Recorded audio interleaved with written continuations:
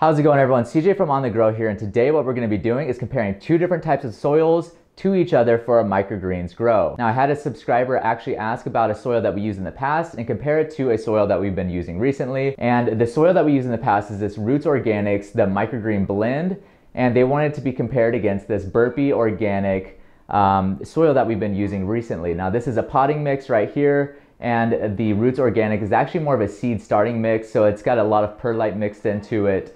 So let's go ahead and jump into this experiment and get it started.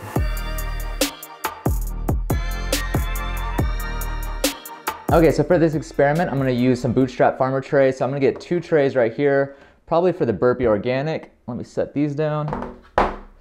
And then I need two more trays of a different color to identify my micro. And then I need the two green trays for the other soil blend. All right, so I got my trays pulled down here. I've got my mesh trays that are gonna go inside of my Bootstrap Farmer uh, solid trays. So let's do, we're gonna do one and two in the orange trays.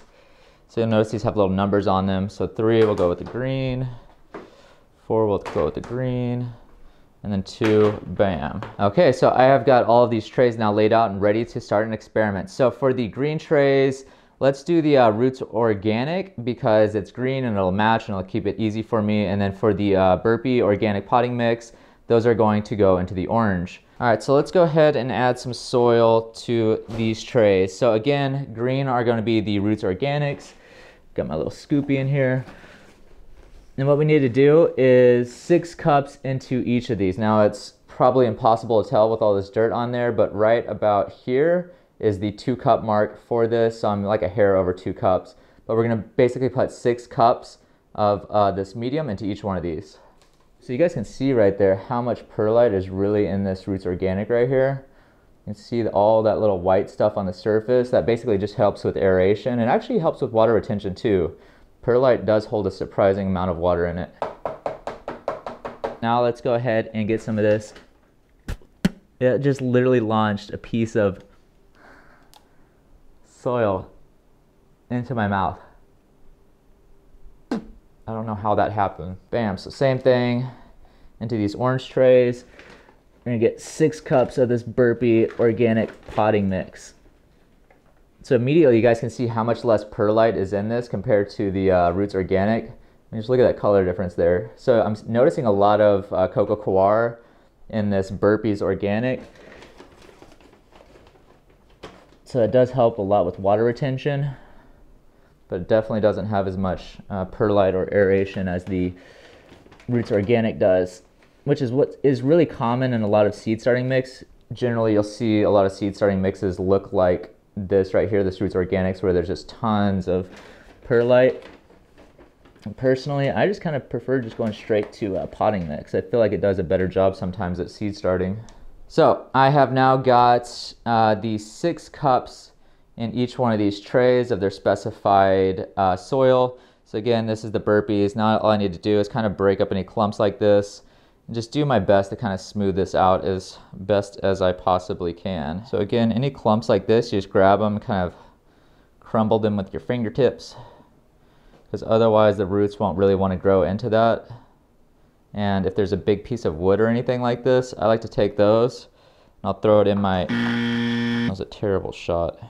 Well, that's my compost bin and I just completely missed and it ended up there. All right, on to the Roots Organic. Now it's spreading this guy out, which feels a lot easier. And actually as fine as this is, I worry about this falling through the mesh. So what I'll do is I'll lift that up um, after I've kind of smoothed this out a little bit. And let's take a look at the uh, how much of this has fallen through. Oh, that is a rock. Wow, okay. I'll try to crush that like it's compost or something. Much better shot. I have now got all of these uh, with their designated soils. Got our Roots Organic and I've got the Burpee Organic potting mix right here. So just taking a look at these two, I mean, you can see the difference in the quantity of perlite. I feel like this is like at least 50% or higher of perlite, whereas this is maybe like 5%. So, I mean, that's just a huge difference right there. And something I noticed about this too, and you'll see as soon as we go to seed this, uh, the seeds are basically going to disappear into uh, the medium. I just realized how nasty my hands are. So going to go wash these here in just a second. Um, so you'll just see the seeds kind of disappear because it's so chaotic right here with all the perlite and the brown and everything. So it's going to be really hard to visually track those versus on this, I'll be able to see my seeds a lot easier. All right, let's go with, uh, bam, kohlrabi white Vienna. I also have all these seeds over here, but this is what I want to use for this experiment. So I'm gonna use probably, let's do uh, 10 grams or about one tablespoon of this per tray. So I'm gonna go ahead and get that seeded. I need to kind of stack them a little bit out of my way. So let's do that. Bam, so one tablespoon was 11.5 grams. That's what I'm gonna stick with for all these trays. I'm gonna use my hand right here. I'm gonna do a back and forth motion and I cannot hardly even see where the seed is going because it blends so well into this medium.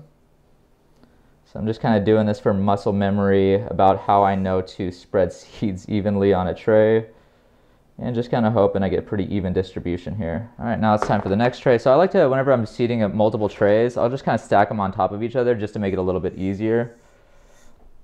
So again, same thing, except I'm able to actually see where my seeds are going. So I'm just gonna kind of do my best again to get this as even as possible. A little longer than a few minutes later. All right, now it is time to water all of these. So let me get this pulled off. I'll show you guys how we water. Okay, so as for watering, what I use is this little uh, Scott's pump right here. We got this from a uh, local hardware store and it works really well just to, no, I like it because it has several settings. It's got cone, stream, and fan. And fan is actually really good for hitting the whole tray at once. But I actually prefer um, the cone just overall. I feel like it's a lighter mist. So what we need to do is just give a nice watering to all these trays.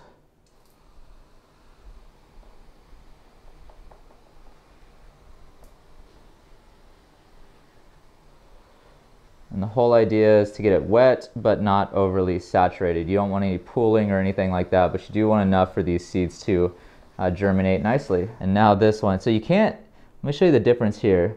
You can probably spot the seeds on this. Little round seeds right there.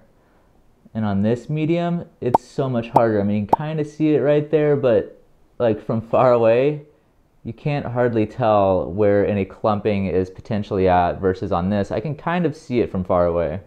At least I've trained my eyes to. So again, same thing. We need to get this watered nicely.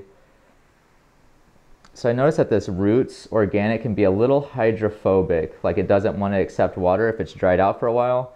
So I did kind of moisten it uh, when it was in the bag before I started the video just to try to knock down because it can be very powdery as well because it has a lot of that perlite so it creates a ton of dust unless you kind of moisten it just a little bit. One of the hard things with this medium is it doesn't change color like seeing a bunch of coco does where it gets much darker. This just looks equally as white as it did. so I'm gonna go ahead and start stacking these. So we got tray number one at the bottom, tray number uh, four which is the um, roots on top of it.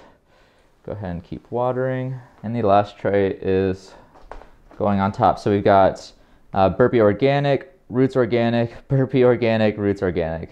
That way we kind of divvy up the weight a little bit. Now what we need to do is actually put a weight on top of this. So I'm gonna put another 1020 no-hole tray directly on top of this.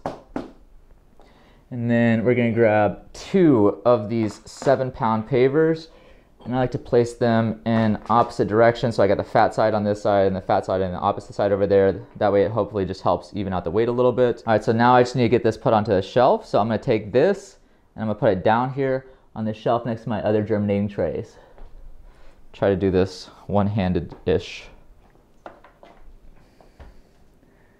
All right, so now I've got that placed on the shelf for germination. What I'm gonna do is I'm gonna come out tomorrow I'm to give this another watering. I'll probably also come out tonight and give it another water if it needs it. And then I will see you guys as soon as it's time to put these into blackout and then into the light. So I'll see you guys in a few days. All right, y'all, we are on day three for this roots versus burpee soil experiment. So I need to get all of these trays pulled off the shelf because they are starting to grow really tall. And I think we're actually gonna put them straight into the light and jump over the blackout stage. So let's get these pulled off and take a look. All right guys, so here's our trays and I pulled the weight off just to make it a little bit easier to move this one-handedly. Oh my gosh, that is so heavy. All right, let's take a look at our growth here. So this is one of the roots uh, organic tray and I could tell that because of that super excessive amount of perlite on it. And the growth is looking really solid and I think we are actually good to introduce this straight into the light because the things have been growing a little bit faster in our grow space recently, and I think we can just jump over the whole um, blackout period. So what I will do is I'm gonna take this first top tray, this is tray number three. I'm gonna slide this on the shelf and all of these are gonna go underneath these three Barrina 20 watt LED lights. And I really like these lights because they are cheap to buy and they are cheap to run. So the second one, this is the Burpee Organics. I can tell because there's a lot less of that perlite and that soil there. And again, overall, the growth on this looks really, really solid. I'm very happy with this burpee, roots, burpee, roots. And that's how we're gonna do it for this experiment. I do that because uh, the fan is positioned on one side over here and I just try to balance out the test a little bit instead of having both the uh, roots or both the um, burpee trays on the same side. Just balancing a little bit helps even out the test. So looking at all these side by side underneath the light, I feel like the growth is really quite even across all of these trays. And I think that this is going to be a great competition. This tray number one right here seems to be uh, the slowest tray, but I think it still stands a very strong chance. So what I need to do now is get all of these trays bottom watered. And since this is all soil, I am not going to use a nutrient water source. I'm just going to use plain old unfiltered tap water for this. And starting off, I'm probably going to do about, this is one and two thirds of a cup of water here. And again, I'm just using plain unfiltered uh, tap water. And then to bottom water, all we do is we lift up a tray, pour that water into it. And since there's little slits in this tray, it'll absorb all that water up into the soil via capillary action. Okay, all of my trays are watered. Now it is time to just leave these in the light. So I will see you guys here in a few days for an update and then on harvest day. I'm excited, I hope you guys are too. We are on day 10 of this roots versus burpee soil challenge and I'm really excited to see how this growth is looking. So let's go ahead and get in close and take a look at these. All right, you guys. So like I said, we are on day 10 of this experiment for the roots versus burpee challenge here for these soils. And I'm gonna have you guys try to guess and see if you can remember which is which. Which colored trays are roots and which colored trays are burpee. All right, guys, so let's go ahead and take a close look at all of these crops side by side. So if you guys remember, the orange trays are the burpee and the green trays are the roots or organic. The reason I know it's the roots is because there is a massive amount of perlite down there in the bottom compared to the tray over, which is the burpee, which has a lot less per perlite. Now looking at the growth on all of these, I will immediately say that it seems like the roots seem to be a little bit more full in their growth. They seem to have a little bit more mound to them uh, as you guys can kind of see up here in the front, it just seems to have a bit more of that mounding to it than the burpee trays do. Let's go ahead and take a look at this one here on the end. Same thing with this one here on the end. It's just looking a little bit fuller than uh, the burpee tray next to it. So it seems like at first glance, the two roots trays are doing a lot better than the burpee trays are. Overall though, I think all of the growth on all these look really, really solid. And we're starting to see some true leaves, which means it is time to harvest.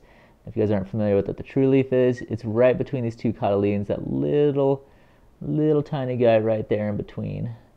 And that is our true leaf, which means it is time to harvest these. So let me go ahead and get these pulled off the shelf and I will get to harvesting here. Before I harvest these trays, if you guys wouldn't mind, go ahead and smash that thumbs up button because it really does help out our channel. If you guys are feeling extra generous, be sure to click that subscribe button and the notification bells. That way you guys get notified whenever we release new videos like this one.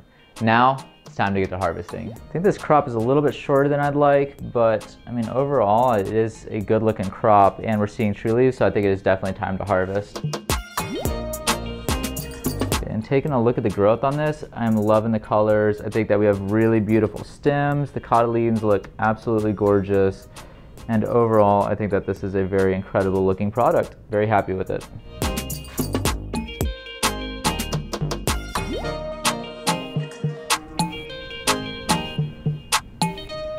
Taking a look at the appearance after first cut. Let me knock these little stragglers out. Come on. Get out of there. So appearance of the tray number two for the burpee. Again, I'm loving it. I'm seeing some little purples in here. I don't know if the camera's picking that up, but we got some nice little purple stems down at the bottom. And again, overall, I'm very happy with the growth on these. The cotyledons look nice and juicy and healthy and the right size. And overall, I think the product height is perfect.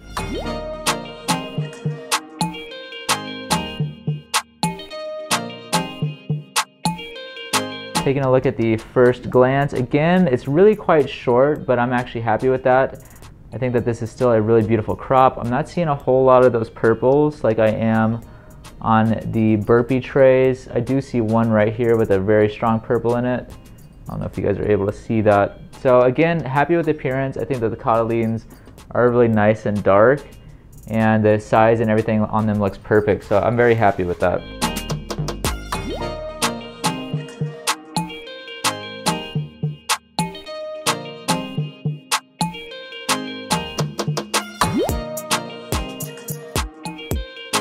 Thing I'm seeing with all the others. I really do love the appearance on this. I am seeing a little bit of purple down here, which is promising. And overall, again, I think that the coloration on the cotyledons is really nice and beautiful. And I think that this is a great crop.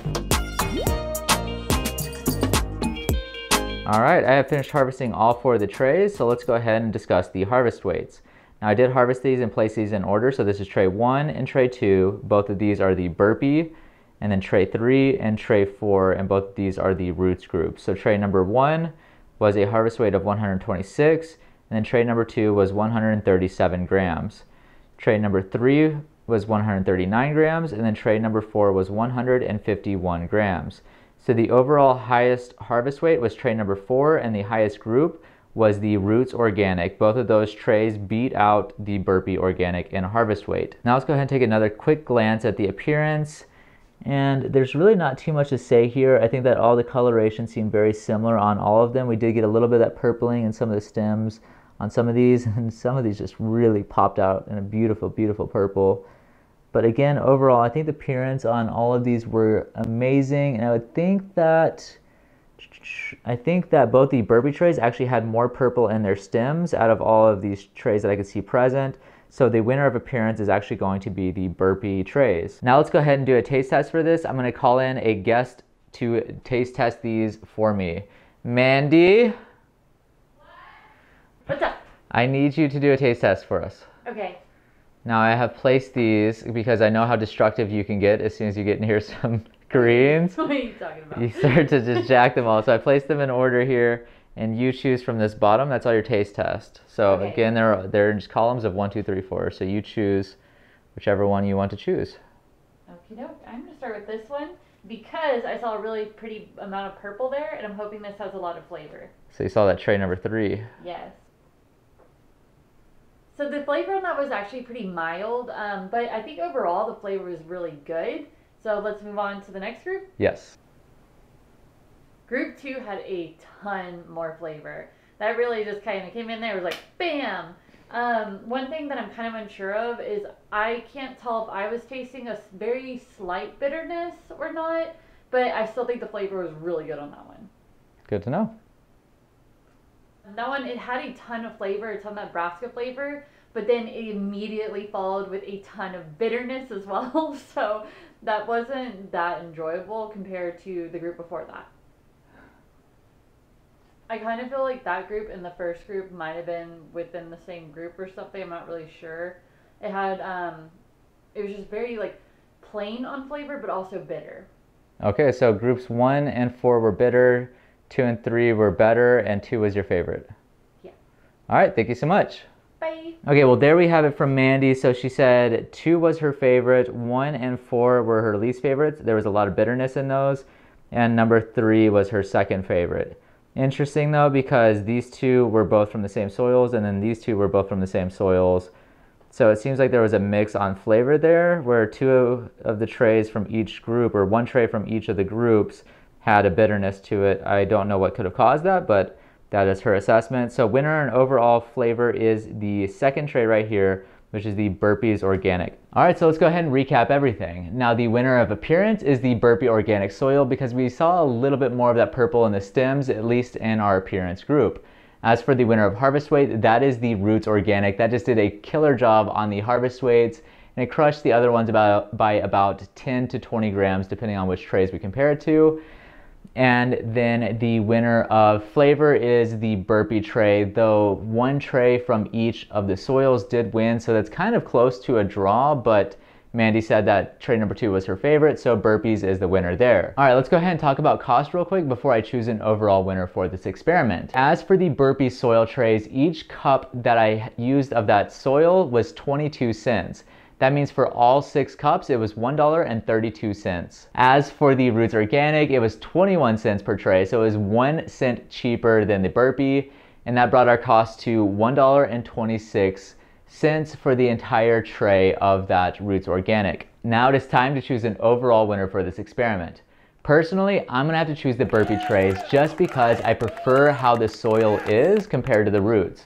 I hope that makes sense. Basically, it's the consistency of the soil is a lot better than what I find in the roots. The roots has a ton of perlite in it, which makes harvesting weird. Watering is really hard to tell when the medium's saturated enough.